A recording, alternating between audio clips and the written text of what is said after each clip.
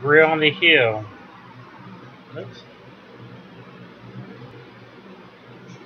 Grill on the Hill, bacon cheeseburger, fries with a fried egg, runny yolk on top. Goes uh,